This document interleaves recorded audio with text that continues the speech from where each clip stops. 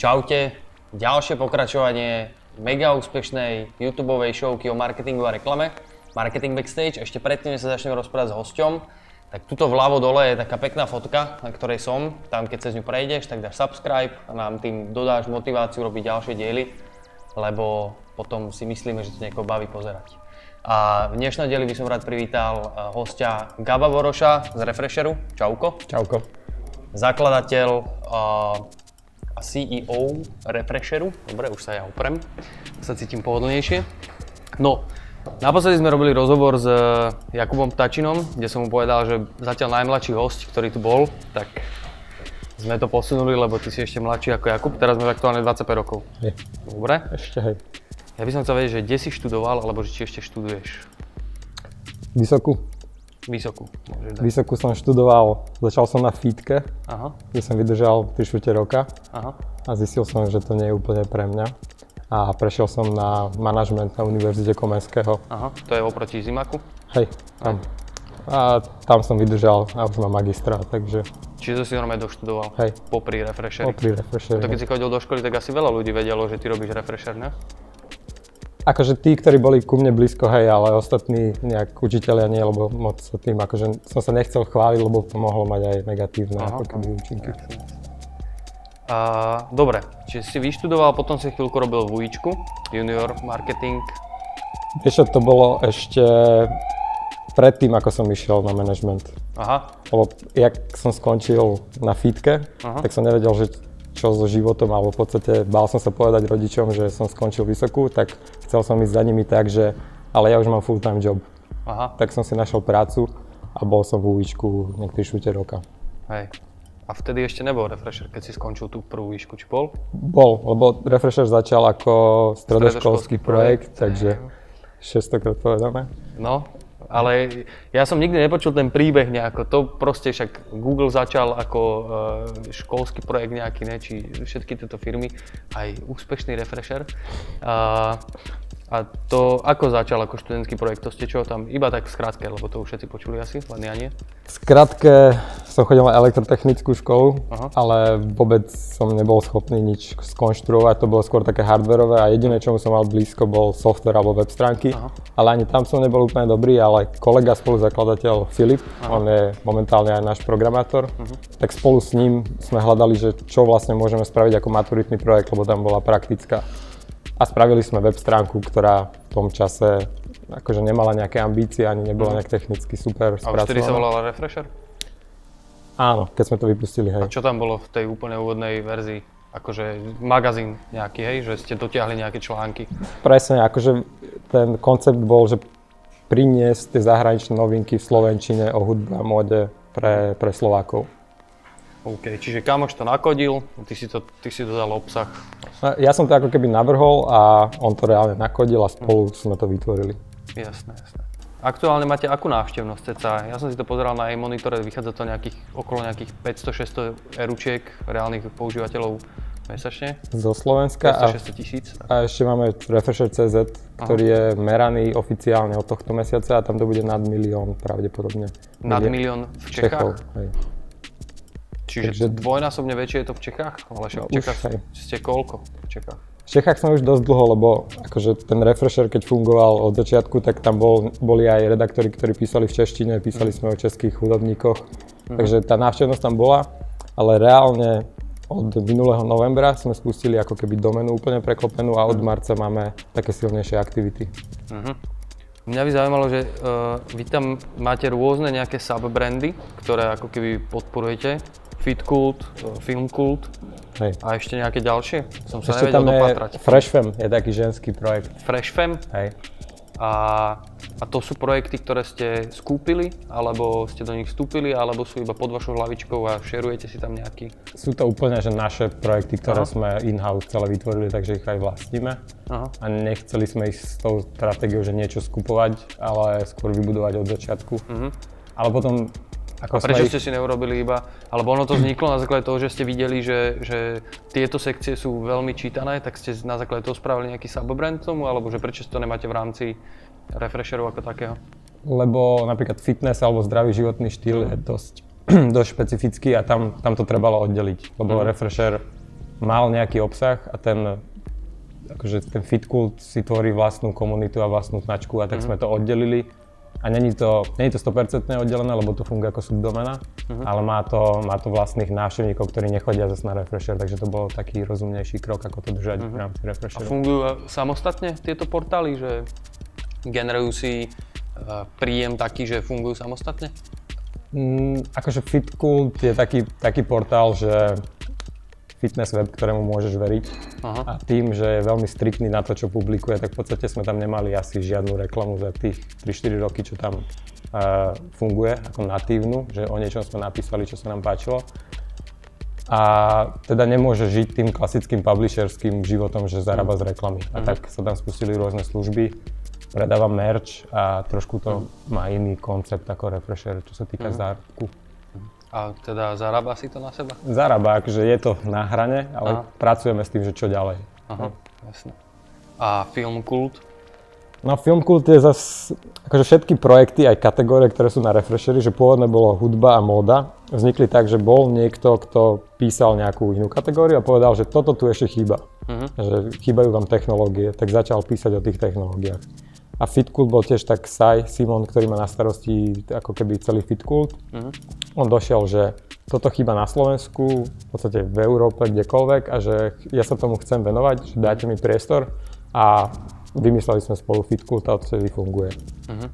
A takisto je to aj s Filmkultom, že tam bol Dominik alebo viacero redaktorov sa venovalo filmom a seriálom chceli vybudovať zvlášť komunitu, ktorá sa tomu venuje Aj. alebo o tom písať. A tam je ale ten eh, biznis model asi taký klasickejší, že píšete aj o nejakých filmových novinkách a takto. Hej, že... No a tam je zase, čo sa týka biznis modelu, ten problém, že na filmoch sa nedá obtočiť nejaká reklama, ktorá by reálne zarábala, lebo akože tie distribučné spoločnosti majú, nemajú taký model, že platia až tak za to, aby sme písali o tých seriáloch, lebo o Game of Thrones budeš aj tak písať. Áno.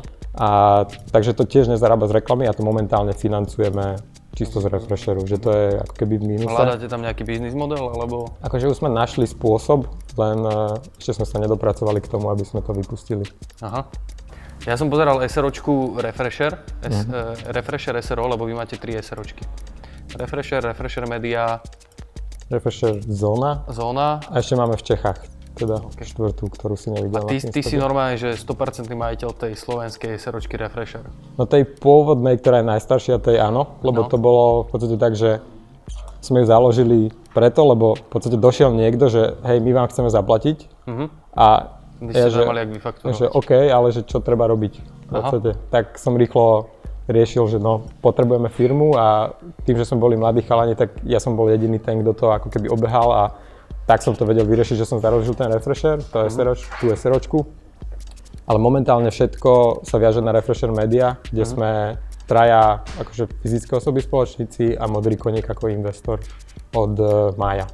Ty si tak na začiatku povedal, že si nechcel dojsť domov, že, uh, že si skončil vysokú školu mm-hmm. a teraz keď dojdeš domov máš 25 rokov a máte 20 zamestnancov a firmu, ktorá točí uh, pol milióna eur ročne, tak asi rodičia sú spokojní, ne? Takže nevadí im to, sú s tým v pohode. nevadí im to. v tom momente boli dosť nešťastní, keď som im proste povedal, že nechcem dokončiť tú vysokú Ešte školu. To si mal koľko? To si mal... 20, ja neviem, 21, 22. Mm-hmm. Tak. A vtedy Refresher už generoval nejaké peniaze? Vtedy, ja neviem, možno nejaké drobné, ale z toho som to nebolo ešte že také, že ne, relevantné, hej? Musel som si nájsť prácu, aby som sa uživil, takže ešte negeneroval. Aha, aha. OK. Uh, ja predtým, že sme začali točiť, som dal taký statusik na marketing backstage, že nech sa ťa ľudia opýtajú niečo, čo, e, čo majú na srdiečku. To som zvedavý. A mám tu jednu otázku od Miša Dragana a teraz ja si ju takto nájdem tuto, lebo mi to príde také digitálnejšie, že mm-hmm. rovno tu nájdem. Uha. Dragan sa ťa pýta, že keďže sa tu bavíme o tých zamestnancoch, tak on mal otázku, že, že ako máte vymyslený systém odmeňovania autorov. Že počul, že je mega prepracovaný. Mm. Hej. Uh, asi je, lebo ono, keď ti pribúdajú ľudia a chceš mať nejakú kontrolu nad tým, že čo robia a nejak to vyhodnocovať, tak si to musíš nejak trackovať. Uh-huh. A zo začiatku som spravil Excel, kde som strávil týždeň nad tým, aby som nastavil všetky tie vzorce, ktoré sú s tým spojené. Ale už vtedy to bolo tak, že nedostával si peniaze na základe toho, že si napísal nejaký článok, že 2 eurá za hocičo, ale boli nastavené rôzne úrovne náročnosti toho článku. Potom rôzne faktory ako čítanosť, uh, engagement, lajky na Facebooku, čas na tom článku, uh, malo vplyv na to, koľko si dostal peňazí a sa to tak násobilo. Takže Aha. boli tam rôzne parametre, ktoré mali na to vplyv. Čiže čím kvalitnejší obsah niekto napísal, kvalitnejší z pohľadu trafiku a, a času stráveného na webe, tak tým viacej peňazí mohol za ten článok dostať peniaz. Hej, ešte bol nejak, nejaká základná úroveň, že keď si robil rozhovor, tak si dostal od základu viac ako za nejakú novinku. Uh-huh. A to bolo v Exceli, ale tam, tam nebol ešte ten priemerný čas na článku. Uh-huh. A tam sme došli na ten problém, že proste čítanosť a Facebook engagement bol najväčší faktor pre hodnotenie toho autora. Uh-huh. A tak som to musel celé prepracovať a priniesť do toho nejaké kvalitatívne ako keby ukazovatele, uh-huh. že priemerný čas, hodnotenie od užívateľov, a porovnanie toho priemerného času oproti predchádzajúcemu mesiacu. Uh-huh. A to bolo, keď to bolo v Exceli, tak už sme mali 20 tých Excelov a bolo to problémové, tak sme to preklopili do nejakého nášho interného systému. Volá uh-huh. sa to Refresher má... peňaženka. Aha, máte nakodený vlastný systém, kde sú všetky tieto premené v podstate automaticky, a automaticky sa ti to prihadzuje to do toho. Hej, lebo majú vytvorené pod nejakým menom, to pridávajú tie články a Presne vlastne, tak. Uh-huh. Takže ten dobré. autor si vidí, že koľko zarobil, aký má cieľ, že keď dosiahne cieľ, Toto by ste mohli predať ty kokos minimálne do všetkých marketingových agentúr, ktoré píšu pravidelne svoj blog a môžu motivovať takto svojich zamestnancov. Mohli, akože strašne veľa vecí by sme mohli, len kto má na to čas. No jasné, no, však áno. Však mohol by si aj lietadlo postaviť. Mohol, aj ty asi. No, áno, áno. Poďme ďalej. Uh, zóna refresherácka. Uh-huh. Zóna by refresher sa to volá. Hej? Bola, volalo. volalo. Tak, toto som tiež e, nevedel teraz aktuálne dohľadať tú informáciu. Uh, kaviareň, ktorá bola nad KC Dunaj v Bratislave a teda vy ste, bol, vy ste stále, že online nejaký magazín a zrazu tu vznikla, že zóna by refresher čiže nejaká kaviareň offlineová pre mm-hmm. 50 ľudí, možno aj väčší priestor to bol. Tam sa stovka asi, 80 no. sa usadilo, tuším. No, 80. Toto, ako vám vzniklo, vznikol tento nápad? To bol zlý nápad, že to bol taký, taký náš fuck up, ale v podstate cieľom bolo to, že vytvoriť nejaký priestor, kde môžeme tú komunitu ako keby stiahnuť alebo združovať a robiť eventy a šťastie ako keby diverzifikovať tie naše príjmy. Mm-hmm. Dúfali sme, že to bude pekne zarábať. Hej. A tak som sa do toho pustil, že to ideme, ideme, celé sme to prerobili, lebo ten priestor vyzeral hrozne. A v polke Koľko som, ste do toho investovali? Investovali sme do toho cez 10 tisíc v tom čase, keď som zistil, že nebol to dobrý nápad. Aha. A tam som zmenil ten model toho fungovania, že to nebolo už naše, ale my sme to ako keby postupili a spravili z toho franchise. Uh-huh. Že ten priestor potom prebral uh, niekto iný s tým, že sme začali spolupracovať a skúšať niečo spoločne vytvoriť, ale nefungovalo to ideálne, to nastavenie. A teraz je to úplne zrušené? Pokiaľ viem už hej. Uh-huh. A nefungovalo to prečo, podľa teba? Lokalita? Lokalita je, akože centrum mesta super, ale na 6. poschodí nie. Máš no. pekný výhľad, ale nevie sa tam jednoducho dostať, akože tam sa nejak vylúčovali rôzne veci. Uh-huh. Uh, my sme sa nestihali tomu toľko venovať, koľko by trebalo. Ten e, človek, e, ktorý to mal na starosti, tiež ako keby nemal ten tím, ktorý by tam vedel organizovať eventy. Uh-huh. Akože vedel gastronomickú časť pekne pokryť, ale ten uh-huh. marketing a eventy okolo toho to nie. Uh-huh a tam to postupne ako keby upadlo, upadol ten záujem na tom makať. Uh-huh. A my sme sa poučili, že v podstate treba sa fokusovať na to, čo robíme dobre. Uh-huh. Tak uh, momentálne do offline sveta moc akože nechceme chodiť alebo veľmi opatrne. Uh-huh. Janku Mikisovú by zaujímalo, neviem, či ju nepoznáš, nepoznáš? Dobre. Uh, že ju by zaujímalo, že či nepovažujete za dôležité mať editora vo svojej redakcii, lebo že na Refreshery nájde vždy zaujímavý obsah a dobrý obsah, ktorému však chýba editorské oko a častokrát sú chyby už v titulkoch. Hmm. Človeka to potom odrádza, aby na obsah vôbec ne- neklikol, že, že prečo nedokáže mať samotný Refresher kvalitu filmkultu alebo fitkultu. Že, čiže akože ten filmkult a fitkult je príde kvalitný, kvalitnejší, hmm. tak asi editora máte. Nemáme. Tak nemáte, OK. Dobre. Máme do istej miery, ale není to človek, ktorý robí len to. Aha. A je to z toho dôvodu, že máme nejaké internet pravidlá, že ako písať, ako keby, že štruktúra, aké nadpisy a, a že dvakrát si skontrolujú meno to, tej zahraničnej osoby a tak ďalej. A sú ľudia, ktorí vždy skontrolujú to, čo ide von. Mm-hmm. Takže prečítajú si a opravia chyby, že do istej miery to je, to je ten editor, mm-hmm. ale nerobí len to. A keď máš takú, tak toľko obsahu, že ja neviem, 30 článkov na Refreshery, 15 na Filmkulte, 1-2 na Fitkulte denne, mm-hmm. tak sa stane, že niečo nie je 100%. No, jasne. A my sme ako keby obetovali nejaké zdroje na tých editorov na niečo iné a akože obetuješ, lebo ten editor je aj ako keby taký bottleneck, že všetko cez neho musí prejsť uh-huh. a radšej máme nejaké pravidla, že čo môže napísať, čo nemôže, že ako to rob uh-huh. a mhm. potom to ide von. Uh-huh. Ale nemyslím si, že film kult alebo fit kult uh, by mali menej chýb, možno na fitkulte, respektíve určite áno, lebo tam je málo tých článkov, takže Hej. Je, to, je to jednoduchšie plus. Ale akože v podstate, že tá štruktúra aj film kult, film kult, aj fit kult, uh, aj refresher, však to sú tí istí ľudia. Akože tam sú iní špecialisti na tam, to a na to. Oni sú to ako ale... keby zvlášť oddelené redakcie, ktoré fungujú samostatne, že iný človek to kontroluje, má na starosti. Aha, OK. Len na refresher je toho obsahu kvantum a tam sa aj menia tí ľudia, ktorí dávajú na to pozor, že čo a, a kedy ide a ako ide von. OK. Kto je vaša konkurencia na Slovensku podľa vás? Tak uh, na Slovensku teraz postupne vznikali rôzne, rôzne weby aj veľkých vydavateľov, aj malých, z mm. veľkých, napríklad Ringer má Noise, mm-hmm. Smečko má Fiči, mm-hmm. Started Up celkom idú hore. Mm-hmm. Uh, ešte stále vznikajú nejaké, ktoré do istej miery majú podobný biznis model ako my, alebo sú inšpirované tým, čo sme vyšlapali mm-hmm. pár rokov dozadu. Juraj Lova sa pýta, že ako zháňate a vyberáte autorov?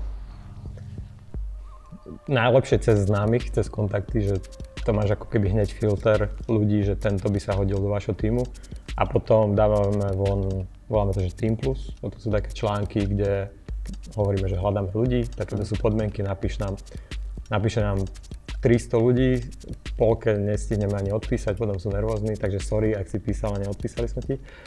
A... Možno preto sa pýta, no?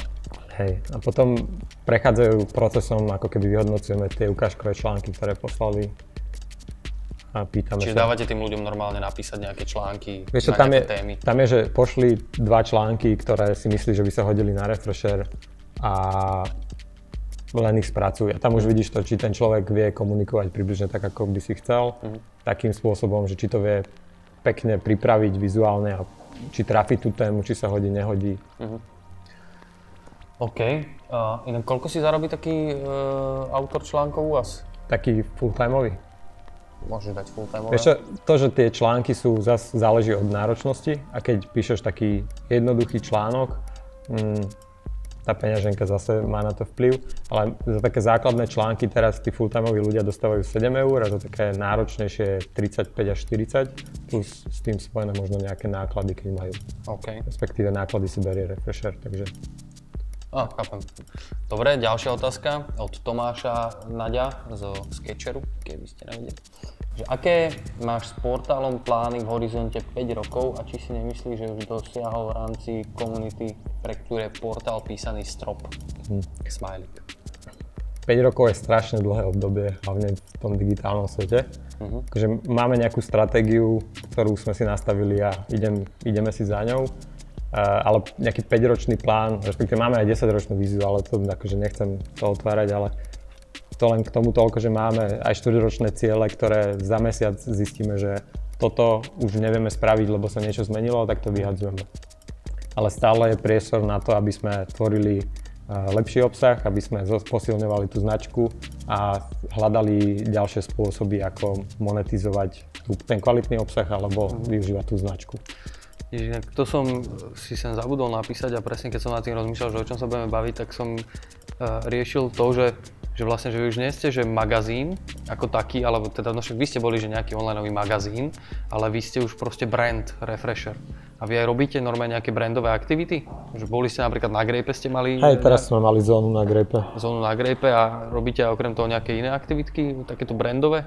No, mali sme veľa eventov, alebo také, že legendárne halloweenské party sa to volalo, lebo strašne veľkú zábavu sme vedeli nejak vytvoriť, neviem ani ako. Robili sme offline eventy, ktoré sme organizovali my a to sme zase zistili, že nechoďme do offline, že proste lebo nám to nejde, tak sme to zrušili. Mm-hmm. A momentálne sme našli ľudí, ktorí sú v tom dobrí a spájame sa s nimi, že mm-hmm. robia ako keby pre nás tie Čiže budete robiť viac offlineových event, eventov?